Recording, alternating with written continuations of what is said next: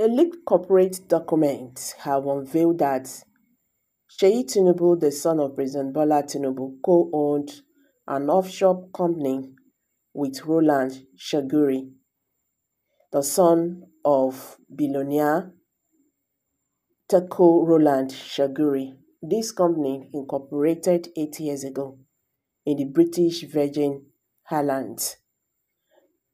It has come under screening following the awarding of a $13 billion contract to build a 700-kilometer Lagos-Calabar coastal highway to Hi-Tech Construction Company Limited.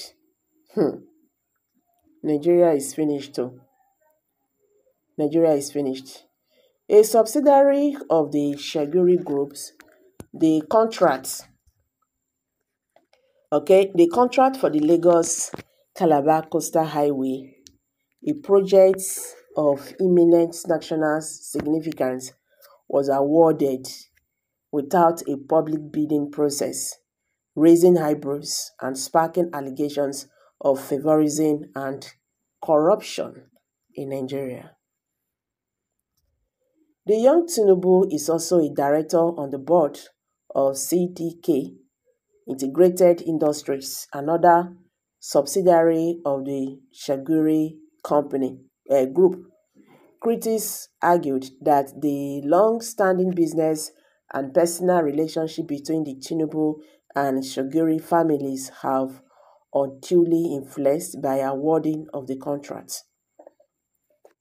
Minister of Works David Umahi, however, has defended the process, stating that it followed due procedure and that the matter is currently before the court.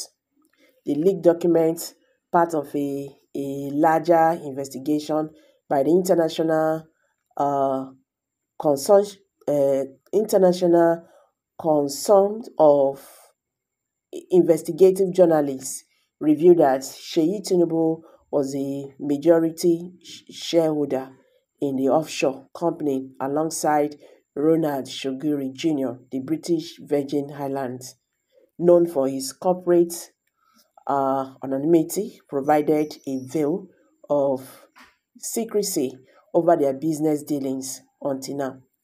The current ownership status of the company remains unclear, as neither party has responded to requests for comment in 2000 Gribat Chagoury was convicted in Switzerland for laundering money on behalf of Nigeria's former military dictator Sani Abacha. The relationship between Tinubu and Chagoury family is not new.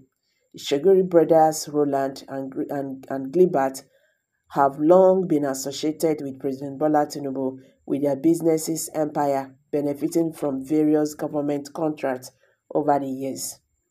While flogging off the controversial Coastal Highway in May, the president applauded the Chagoury brothers for being worthy stakeholders and for believing in the future of Nigeria. The, later, the latest revelation had to a series of controversies surrounding Tinubu's administration, which has been criticized for its handling of economic policies, including the removal of fuel subsidies and the rising cost of living. President Tinubu's son in controversies, Sheyi Tinubu's business ventures have consistently drawn attention not only for their success but also for their timing and the network the networks they involved. Is advertising company the the the Losart Pro promo media has become a dominant player in Nigeria's outdoor advertising industry with allegations that its rise was facilitated by his father's political plots.